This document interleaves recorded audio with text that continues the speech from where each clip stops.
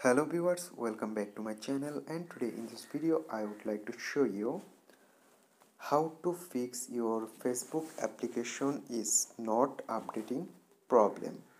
So for that i open my google play store at first and then go to search bar and type facebook. I just open my facebook and guys there you can see there have a option for update. But when i going for update it's not updating. So how can you solve it or how can i fix it? In this tutorial i will show you that. So for that you need to go your phone settings at first.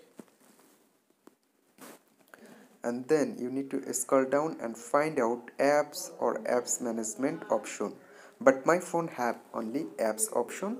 I just open this apps and then go to manage apps option and then go to search bar and type facebook.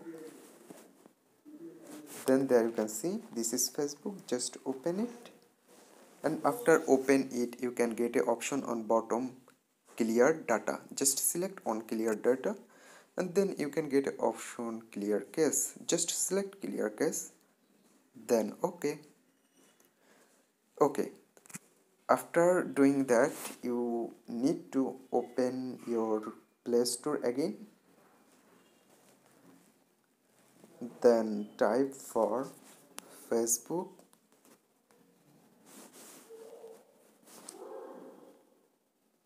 Now open your facebook app. Then there you can see option update. Just select update now you need to wait.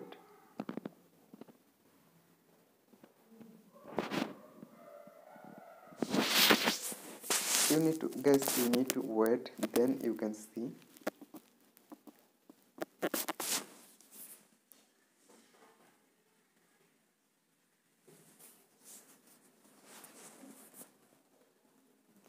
Okay guys there you can see my facebook is updating now.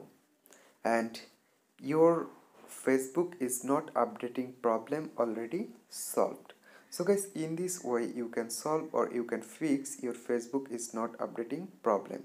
So hope guys this video can help you. Don't forget to like and subscribe my channel. Thank you everyone for watching this video